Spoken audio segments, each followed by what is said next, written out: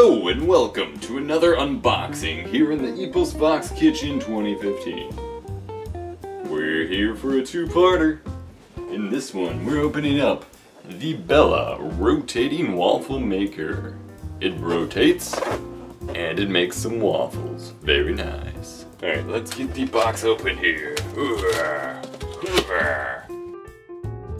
First up, we have an Instagram advertisement, as well as an instruction manual and recipe guide.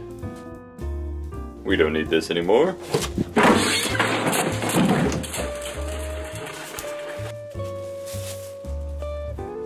Alright, we have what appears to be a plate or a tray of some kind.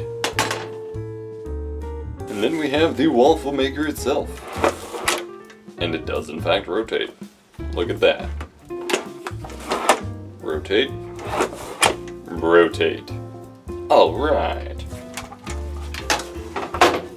Next up in our thrilling two-parter, we have the Farberware, Faberware, Farberware 6-quart slow cooker, also known as a crock pot. Let's get into it.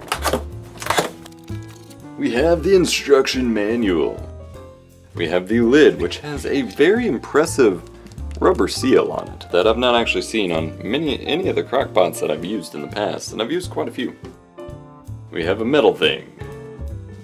We have the bowl of the crockpot itself. And then we have the slow cooker slash crockpot. Has a digital readout timer on it, power button, temperature button, timer adjustment button, handles on the side, and look at this. The cable actually wraps up, the power cable actually wraps up into this little sphere. Pretty sweet. Thank you for watching this thrilling kitchen unboxing.